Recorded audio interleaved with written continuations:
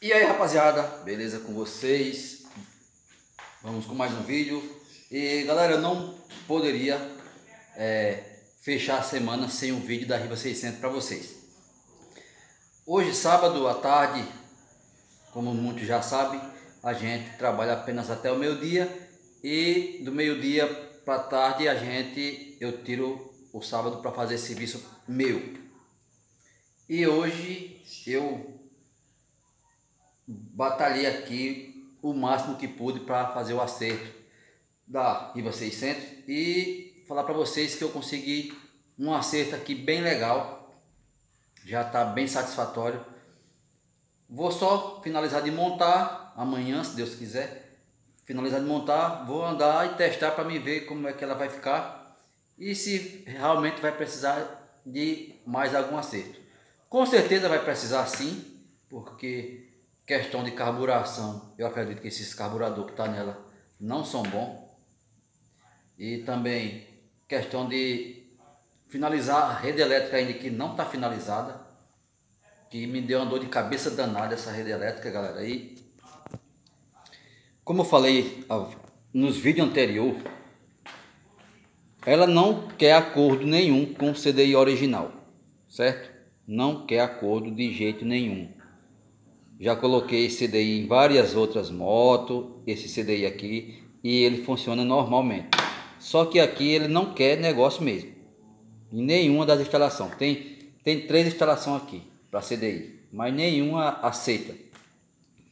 Mas para responder aí algumas algumas perguntas não, algum, alguma afirma, algumas afirmações aí que me fizeram que eu teria que colocar no magneto Aqui está um magneto, um magneto original. É, ele tem esse ressaltozinho aqui, pequeno, e tem esse maior.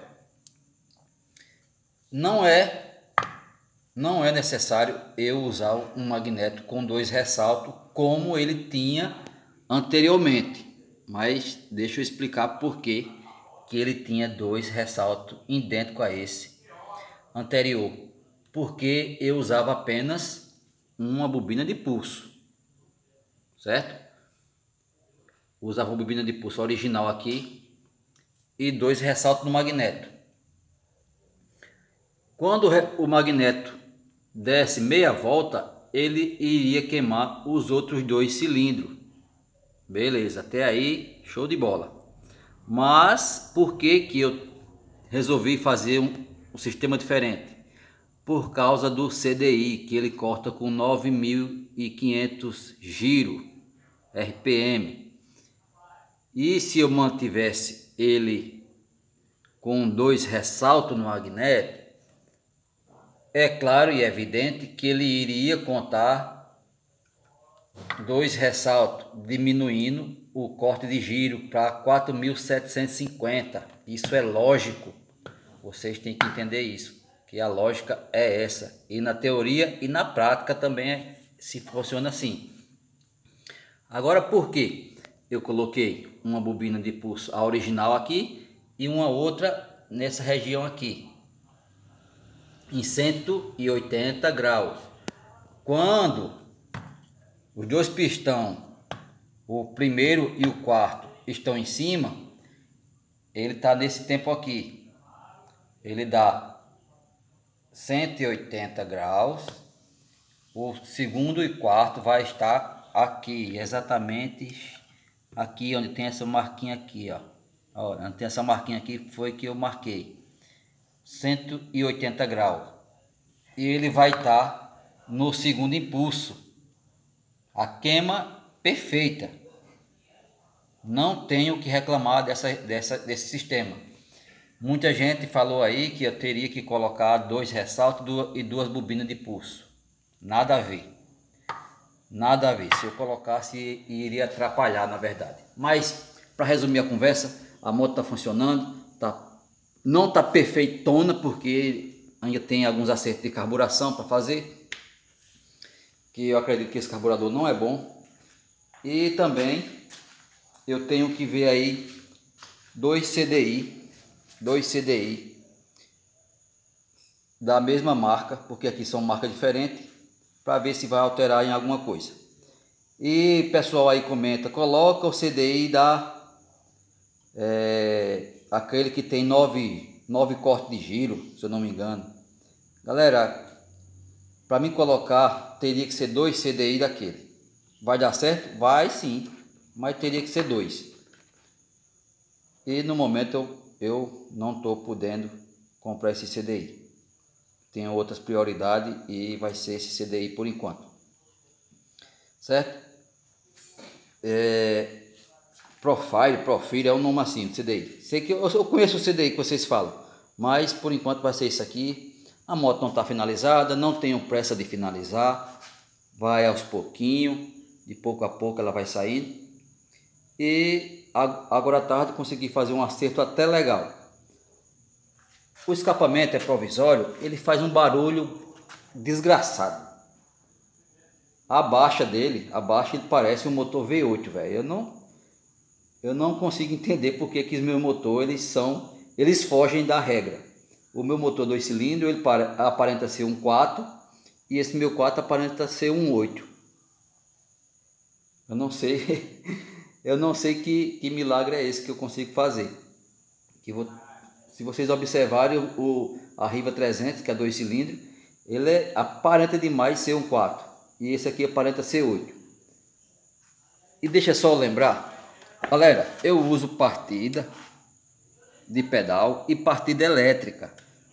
Mas por que, que eu não estou usando agora a partida elétrica? Porque eu não estou com a instalação pra, totalmente finalizada. Falta ligar o retificador para carregar a bateria. E se eu for estar tá dando partida, vai descarregar a bateria e vai me dar trabalho. Vai no pezinho mesmo. Futuramente vai ficar tudo legalzinho, vai ficar funcionando no botão aqui, ó. O botão de partida, beleza? Agora vamos tentar funcionar. Aí eu vou afastar, vou afastar a câmera lá para para longe para ver se aparenta um, um, barulho mais legal aí para vocês. Tá tudo ok? CDI tudo ligado. Vamos ver. E galera, não é pesado não. Como você, muita gente acha que é pesado para ligar, mas não é não.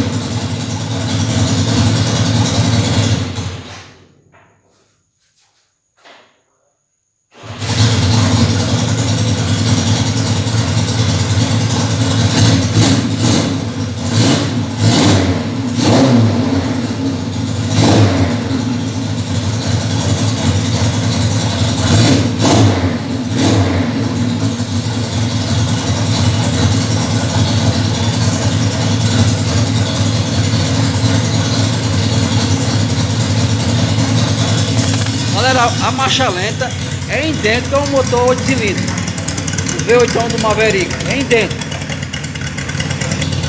Tá certo que o escape não ajuda, né?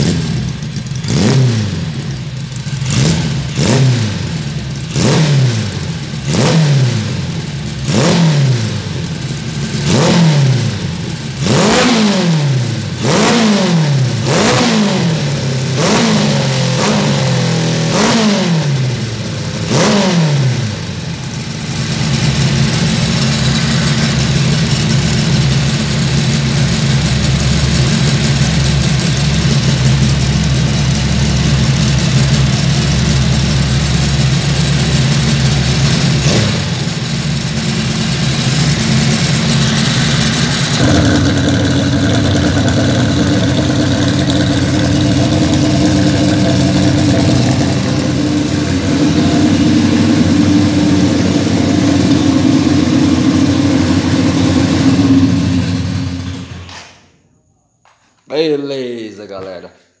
É isso aí. É isso aí. É o, é o que tem para hoje. Tô muito satisfeito já com esse resultado que ela apresentou agora.